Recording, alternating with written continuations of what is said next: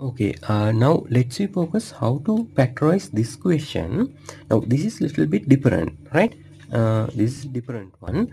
Now uh, when I explain other question, I told you if they tell you factorize, hmm, you have to find always common thing. Huh? Are there any common thing for these terms? Now here, not uh, we have no common thing for this all four.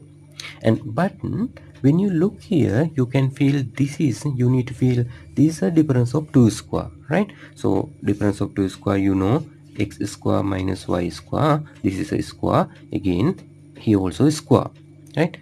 Square minus here must be minus and square. So this after you factorize hmm, this answer will be x minus y and then x plus y huh? you know we discussed already this one uh, please check that video then you can get the idea here.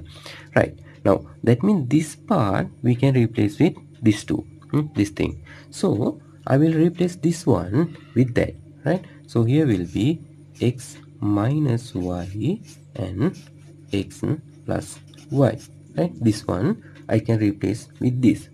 Now you need to feel here we have x plus y here also we have x plus y but not like uh, inside the bracket. So has a one term. So what we need to do both these two also find common thing. Now here there's no common thing but we can think here we have common one. You know you can think no x uh, like 1 into x here 1 into y. So 1 will be common for this both place.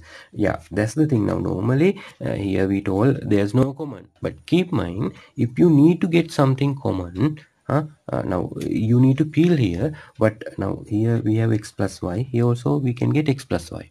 Uh, we need to slow this question uh, by factorizing. So here something we have same thing we can get here also but problem is hmm, uh, it not like x plus y inside bracket. So we have to factorize. We have to factorize now somehow here uh, to get like this. So that's why I get 1 into uh, x 1 into y then 1 is common like that because we need to make like this. That's why otherwise if you get 1 to outside uh, 1 common for any term. So that's why uh, we not normally get 1 to outside as a uh, factor. But here we need to do that hmm, because then you can uh, get go to next step x plus y have to be common huh? that's why. So here I will get 1 outside. Now I need to think here 1 into x 1 into y right? It doesn't matter no not change anything. So I will get 1 2 outside right? I think here uh, 1 into x 1 into x so 1 we will get outside. Then here will be x and here will be after I get 1 to outside it will be y.